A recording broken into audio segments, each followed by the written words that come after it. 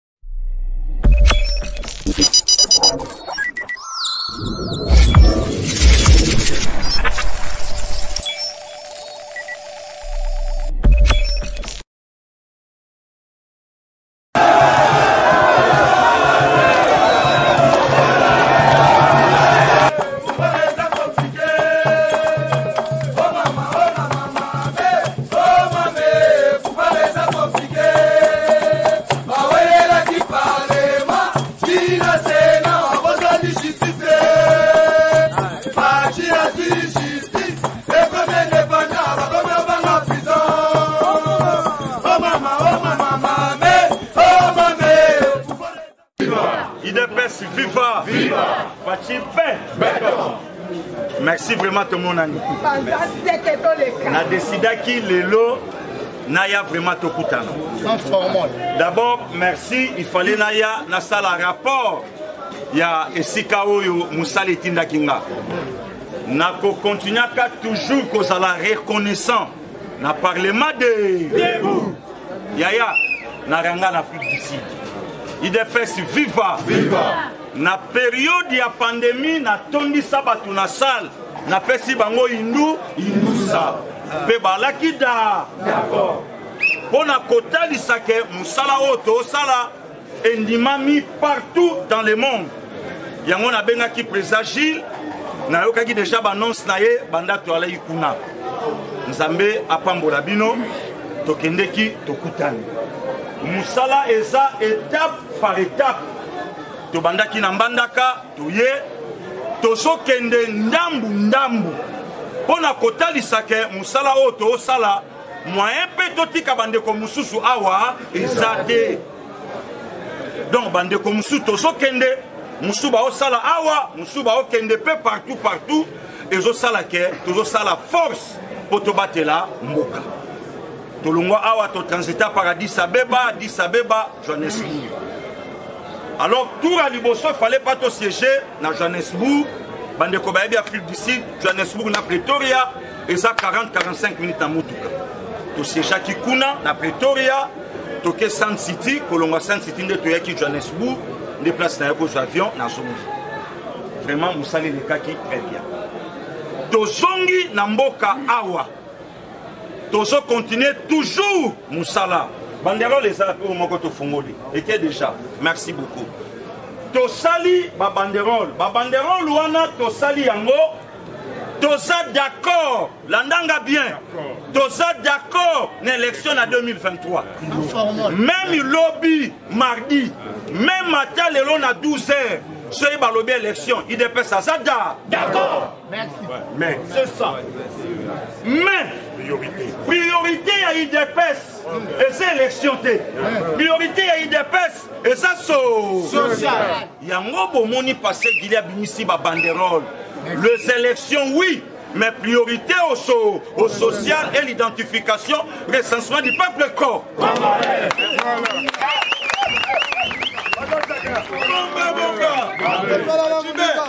pasta pa vani na ye na betavani na ye ma na beta estce yango moto eza synonyme ya koloba ke idps aboya élection yaya solo seul parti awa solo seul parti na afrique akotisa démocratie nazoyebisa bato nyonso bayoka nga mpe bacontredire afrique ezalaki sous la dictature euh, seul le parti tout le premier deuxième président ya bapays africain balaka badictateur na otangela yo bango balaka ba dictateur lelo ntango soki oloba nango bima pase gili azoloba bongo anc nelson mandela anc nelson mandela abunda mpo na démocratie te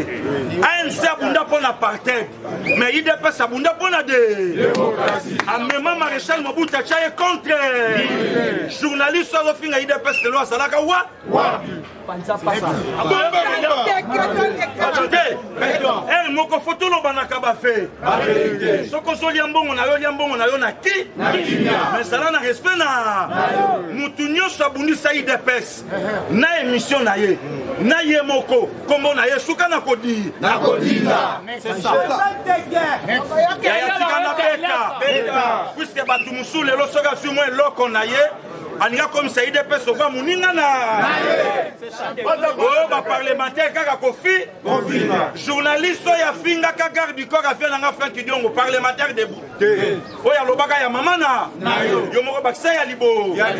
abina mama ya frank dio alaki parlementaire debout journaliste te idps viva faci pe voilà lelo oyo ntango mosala ebandi besoin ya idps eza élection kulutu na nga paul chilumbu awuti oloba ngo lobi awa besoin eza besoin eza élection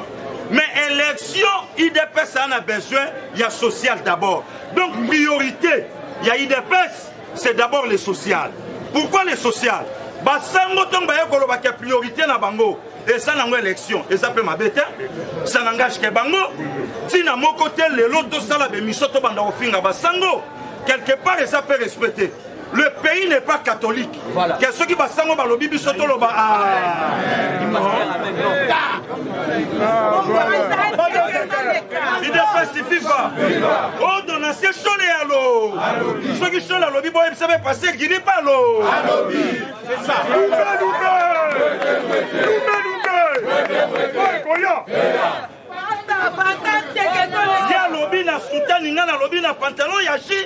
Ya Gilles. Voilà.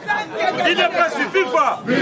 Ya solo ba élection pas yebi na ye passe ya ko futela. Mais passé qu'il a zone nga social ça la pas yebi passe ya ko luka mbo. Et yokani. Il est pas sur FIFA. Yango to yango te. Mais ne sika ba journaliste, bande konanga ba journaliste, ba meka ba expliquer peuple. Que besoin ya peuple eza nanu social social eza ensemble ya bien-être oyo ekoki kopermettre peuple avivre kitoko mais lelo soki basango balobi ke priorité na biso eza élection pays moko te na monde ese développaka na élection eza te idps fifa eza te soki olobi na ngai nakosi ngai nakoyebisa yo états-unis merci voilà. temple de la démocratie élection ya donald trump na joe biden makofi ebetami ti na capitole idepesi fifa donald trump alobi bokoya kobimisa ngai na maison bla nakobima oh, me kuna demokrasi ya maka bomba boyi mpona na nini idepesi fifa il y a de pays oyo lelo nga mpe pasteur gini na kobo ya élection te mais il y a de pays awa na afrique sans élection mais social na bango cito lelo nakoyebisa yo kigali ekomi parmi bacapitale nie kote na afrique koleka kinsha élection na rwanda esalama idepesi fifa etudiant libien abandaki kovivre malamu na libye ke akende ofana na poto akende otanga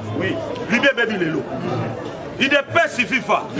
c'est ça yango omoni ntango bandeko na biso bamupe balobi biso mpe toyebisi bango boza na bino na raison mabe te mais priorité na biso eza d'abord sociale yaa na ngai wasekwa yemba alobi peuple aosenga nini peuple aosenga mai peuple aosenga courant peuple aosenga kolia peuple aosenga azala kitoko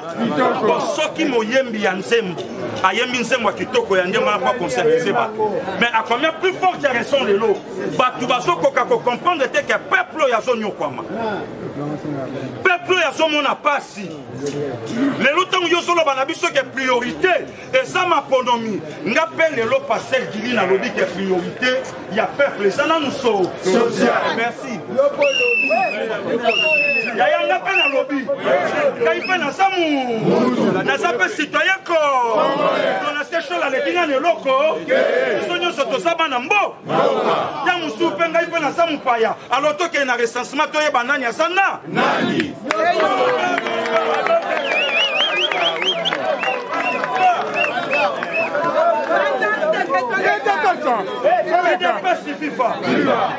faci aye kokuta mboka ya kokufa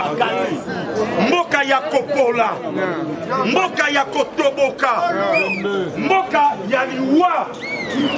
babiloko mokonzi ya mboka sa réalise na 2 ans eleki meme bilan ya 18 ans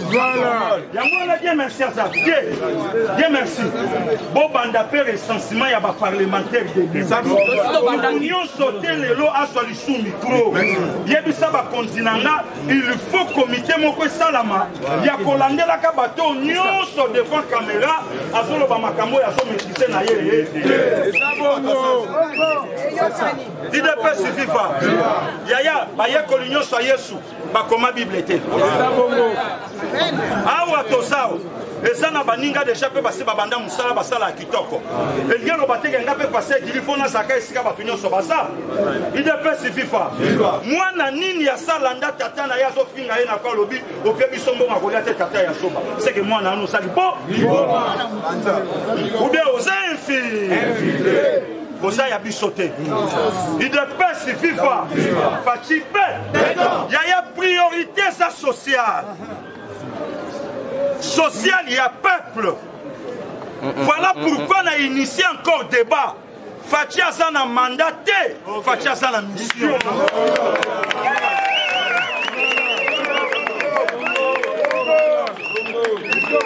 Lelo bozoloba ke tobongisa élection ezala crédible kaka soki toleki na 2023 mais nani alobi na yo ke soki faci aperdre élection na 2023 bato baorganise baosala na kimia idps viva elingi eloba ke perda moko te lelo akotikalaka kocomprendre ke na pola malgré ya martin fayulu asa comprendre ke botindika nga na loye nazwaka na ngai yango nalembi na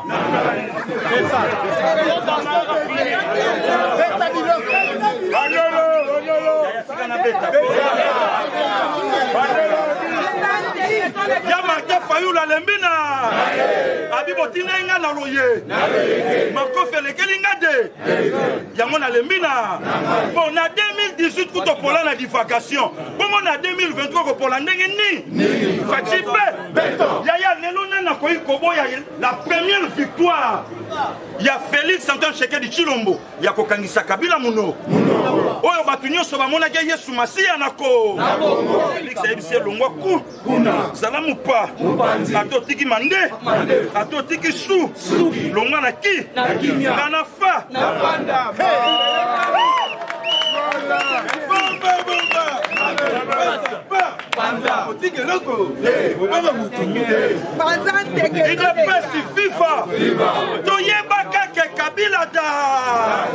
mais lelo communiqué ebimi tokoparticipe na biso na gouvernement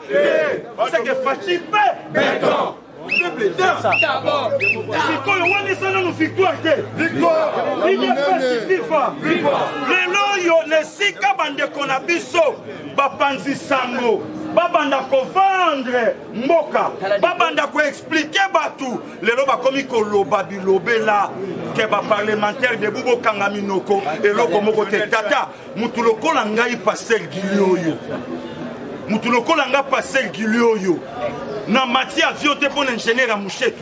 na mati avion te mpo na famille na mati avion mpo na kiparlementaire de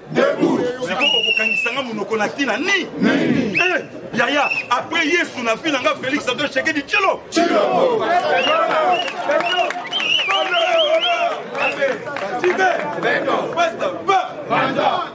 nazobeta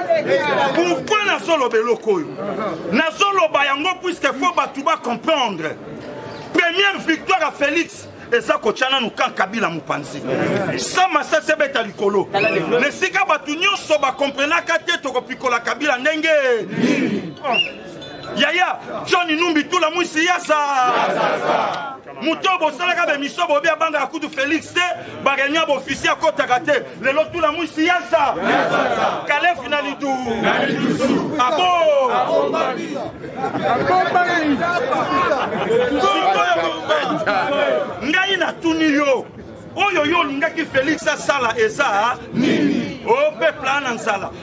bato bazouta kutu mikili bazoya na bacontener bazosala commerce na kisasa seke mikili mpe to etoboki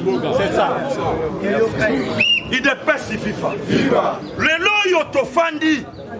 bato oyo nyonso bolobaka awa kabila azoleka boye na cortège aleki boye na bamotard ezoyebana te nani mokonzi luka lelo kabila na nse idepesi fifa wana victoire te yaya naoloba na bato lokola ndeko na biso christian bosembe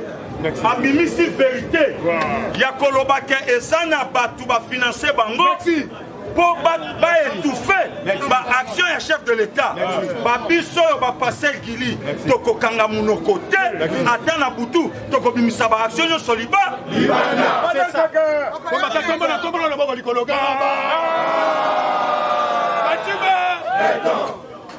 yango wana tosengi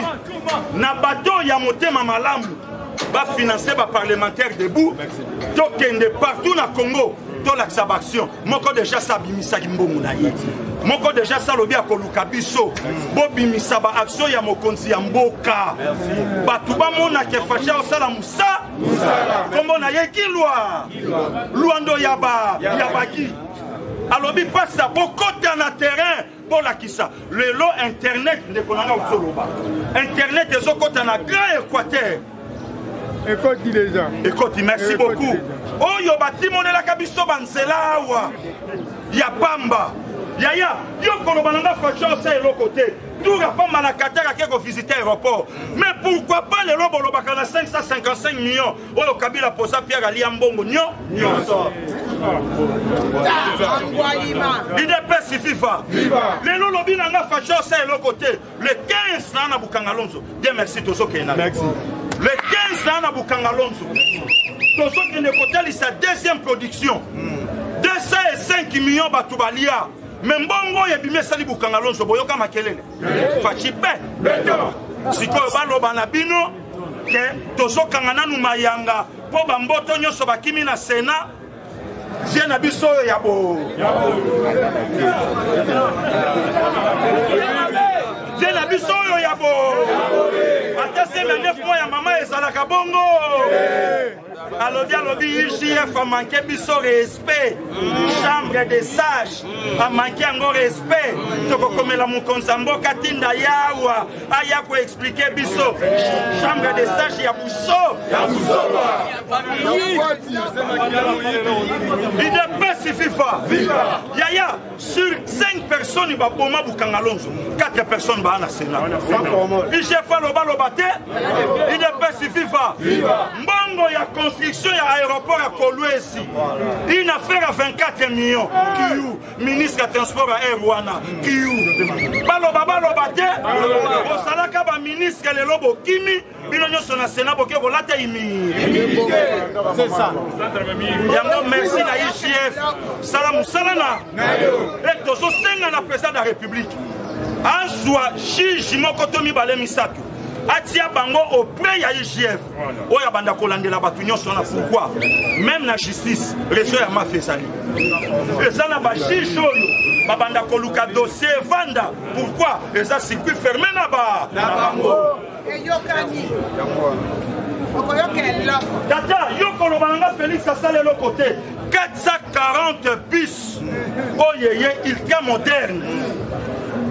c'est normal même yesu bandima ye te mais lokola christian bosembe mwana mayele ayebisi biso eloko toyebaki te journaliste nyonso akobima na nzela akutana na base na nzela na oyebisaka serge kabongo lokola ozotyela biso monoko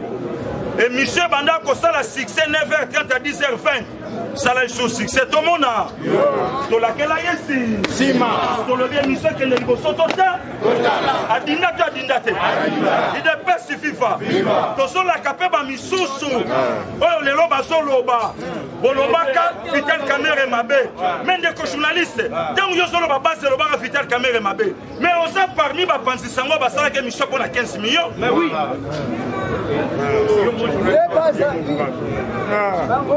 idps viva osalaki emission mpo na 15 million lelo oyo ntango ozolobaka tolobaka kabila mabe me yo kanga mako okendaka prison mpo na kabila osalaka nini idepesi viva tala bosalaka na biso bashe te biso toza batata na bino na politike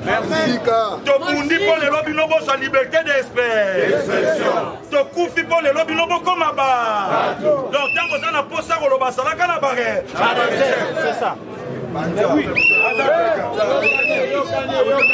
obetaka masolo bana wana baparlementaire debu yaya bamisusu baoloba wana na batele baa baleki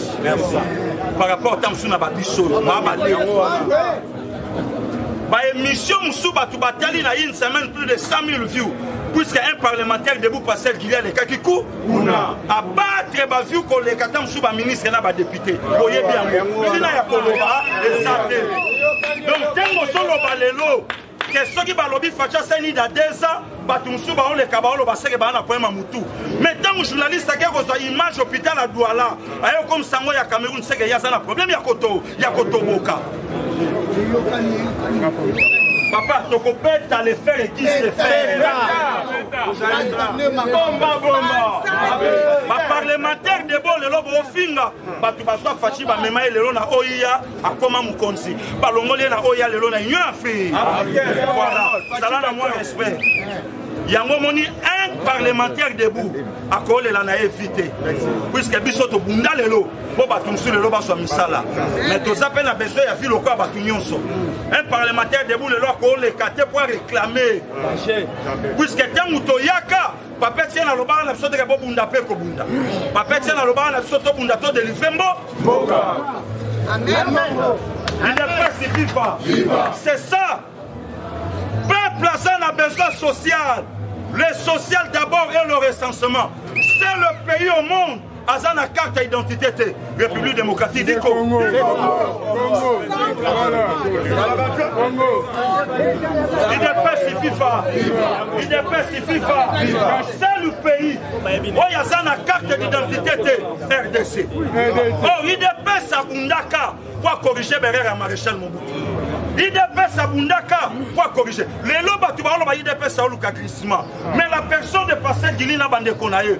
tobandi likambo ya recensement na 2019 na une année ya mandat chef de l'état yaya tala babiso bamosusu lelo bakoma babenga biso aloba loba donc yo journaliste okoloba na plateau ntango na kobanda na yo guerre okosuka udps viva okosuka mpo na plateau na yo motoki na ngai ezali me na nzoto na ngai naa na carburant na yo oh, te naleka na plateau no na beta okotisa bavie olia ala kobokola bana na yo na nda alors kanga mono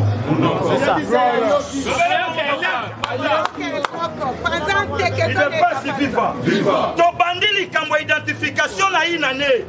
mais lelo bobanda likambo ya recensement na 2 ans et 9 mois ya manda ya moto etikali meme pa moitie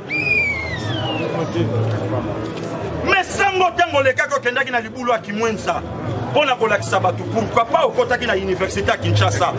kolakisa mpe bato tala oyo mokonzi ya mboka asali epui batonga université oyo mbala liboso baretape yango boye mais okei kolakisa esika baintere na bino ezali couvent bamamelo na nani yaya lelo bato baosakana na mboka oyo mpo na nini nzambe apesi biso notre sang notre frère loba na yo akokipe yo te me tozalaki na mande fo awa bato mosusu bazwa bango na ba 3 heures du matin bakende me makambo okutu balobaka ere wana na oyo ezolobama lelo oyo ya lelo kuta eza grave mais faci alobi loba na batrain eyawa bosali yango émission mituka ya bamilitaire eyawa bosali yango mission nani émission na camp chach tolakisa ndenge mokonzi ya mboka ainove meme na ekole ya bana na kati lelo ntango ozotuna faci asali nini na deux ans nga natuni yo olingi asala ni puiske gilet jaune mama ebotami na france akoza bapromese oyo macron alaka bato emonana te banditisme ebimi ebele na afrique du sud akoza lita anc oyo balaka bato bamona te mais lelo dans deux ans Première victoire ya Fatshi kotia Kabila Mupa. Mupanzi.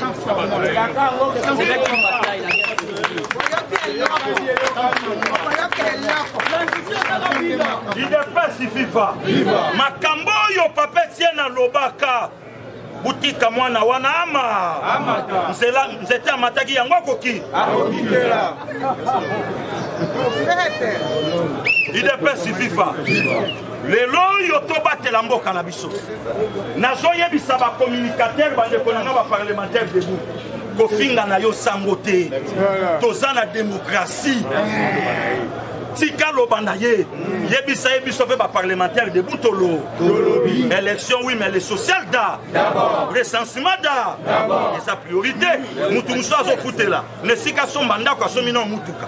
yo lokola oyebi ete olobi me ye afutela kolia mpe epale priorité na ye mpo na mosala na ye eza motuka mais avantage ya baavantage eza te mosusu mabele neti biso priorité eza nanu social vi ya peuple ezala malamu peuple alia kitoko peuple asepela e toye na biso na maponomi sans problème yebisa ngai glissement eza wapi yebisa nga idps aboya élection wapi yebisa nga idps aokima wapi lelo oyo bazwi na kulutu na nga noel chani mpo alobi makambo ya article soki 72 oyo epesi mpo moto azala candidat président de la république il faut azala de père et de mère ekomi guerre yango o idps lelo noel chani akomi lisusu parlementaire de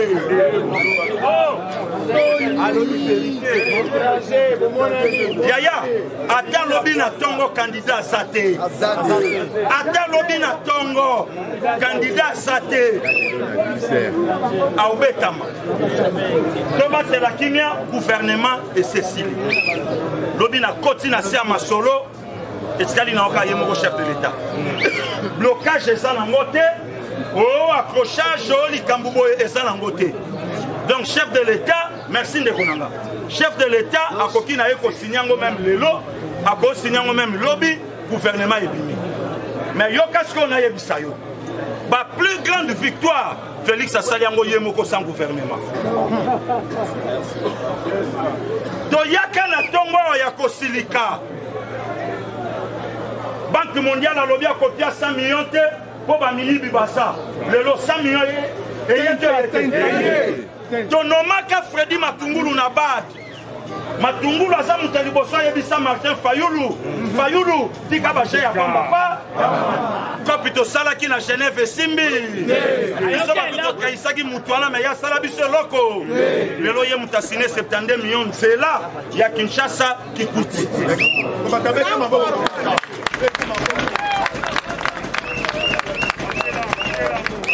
idepasi fifa lelo grand marché oyo tosa tata nauti afrique du sud namoni bamall presque na bachaque commune lelo mokonzi ya mboka alobi basala yango awa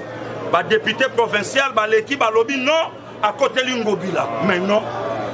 mais koma bino bozowelela mwa kelke bamama na bapapa oyo asandu mpo bapya bino voi mais felix aotala bwalu bwa jitu bobongisa zanga yaya mama yemo ezalaki na programme na ye te décaissement ya 18 millions de dollars américains bainove hôpital wana oyo oyebisa ngai yo oyebisa nga tosi toyebi ke bosi bozwi balare soki bomeki tokobetana na nse nakotangela yo na monta oyo yo ozwi yango bomoni lelo bakomi kosangisa bamama mama respect na bino basangisi bamama basali video yoka kaka ndenge mama azoloba alobi alobi félix tokoyeba ye te asali soni ya tata na ye kabila oyo kutu alandi makambo ya tata na ye alandi nyonso toyebi place euti ndeko na ngai moko journaliste nasali na ye voice auti otindela nga émission moko batata moko basali bazo kobenga oyo na tshisekedi azo kosala teyatre na ye tata motu lokola nga nandimaka tshisekedi aosala teyatre lelo na makambo oyo namoni epuis yo journaliste osepeli nango olobi yoka oyo botika koloba na journaliste wana bisika bozokende bazobenga mpe biso mm, avantage ezake biso nde tozwi te mpe mm. tolingi mpe kozwa te mais oyo yo oswi bayebisi biso kozwi yo temps Walima. Ba émission koya tokotanga bino na bako. Na bakongo. Yokani boye. Bomba kate sans formol. Il n'est pas suffi fa. Viva. Tata, basengili ndenge asa boye. Na lelo na oloba ngo na micro. nayebi ata 100 franc na biro ya motu te moi c'est l'idps moi c'est le congo Amen. et félix antoine sekedi chilo chilongo voilà neti mikolo oyo moto akofinanse biso kilwa alobi bokota bolakisa baaktio ya mokonzi esika bazoko etufe bino mpe bobimisa ya emonana aventurier moko na poto aventurier moko na poto alobi Pasteur Gila qui Afrique du Sud ake kozwa mbongo Moïse Katumbi. Nazo koyebisa na ye Moïse Katumbi na moto oyo atindaki pasteur Gila wangani na miso ya bakoo. Sikoyo lokola oza na baimage alebimisa yango na nse. C'est ça. Ah. yango wana donc biso tozo defendre mboka oyo tokobunda nango ntina suka mpe tokopesa moko antombolo deuxième mandat ya sii omata okita félix akozwa deuxième mandat tokenda yango lelo oyo ozoloba félix asaini me kaka bino bapanzi sango boloba akokanga directeur ya cabinet te sa bache est ce que ye moto akanga ye justice oyo fale ezala independante yango esala mosala lelo azolela to azor lelo asambi baniateli ye mpe mbano na ye na problème ya rossi eza victoire te victoire botuna nga makambo ya boteti na epoka kabila esuka wapi différence idps viva lelo boloba likambo ya constitution article 43 gratuité enseignement banani banyata yango mupe to mupe te ezala victoire to te bon lelo ntango bozoloba ke baaction ya mokonzi bobimisa yango te boetufe bolobela yango te seke boyebi ke bavictoire eza na nzela na ye po soki bavictoire eyalaki te lelo bokope bajournaliste mbongo voilà idps viva yaya vanda na yo yango moni nga pase egili ata okomeli nga ya kofinga ata okomi ya koloba mpo na nga kabila libanda deja victoire mpo na nga bato lelo bakoka koloba te lelo bakoma oloba mpe na media tika ya loba na mpo na nga vie na nga fin kidiongo moto ensemble lelo liba mpo na nga moïse katumbi na exile lelo azonga mbo yango nazoyebisa bamaitre oyo lelo bakomi na ensemble bokende kobambama na bashe botika politiki na ide biloko tokondanaka na pprd lelo tomoni yango na nsa ozoloba tokutana na idps idps abunda na bespa mobutu lelo bake idps abundi na ngwanda lelo na sa mabe